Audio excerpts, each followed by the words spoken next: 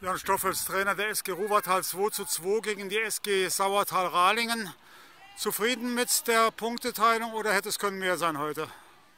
Ja, wenn ich den Spielverlauf halt komplett betrachte, wir waren heute die bessere Mannschaft, hatten deutlich Chancenplus, haben spielerisch auch heute ein gutes Spiel gemacht. Jedoch, dass wir nochmal in Rückstand oder den Rückstand geraten sind und das Spiel dann nochmal quasi zum 2-2 gedreht haben, sind wir mit dem Punkt heute zufrieden.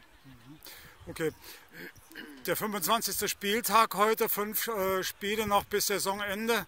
Wie lautet die, die Zielsetzung jetzt bei euch noch? Ja, wir haben 35 Punkte jetzt. Ne?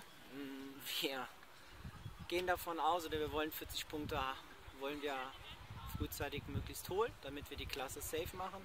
Es kann nachher sein, auch das 38 dafür lang, aber darauf wollen wir uns nicht verlassen. Wir brauchen 40 Punkte, das heißt, wir brauchen jetzt noch 5, äh, um den Klassenerhalt ganz sicherzustellen. Und da müssen wir ja, in den letzten fünf Spielen knallhart dran arbeiten. Es ist äh, jeder, jeder Punkt, den du hier in der Bezirksliga gewinnst, ja, ist harte Arbeit und das ist auch das Fazit jetzt für die letzten fünf Spiele.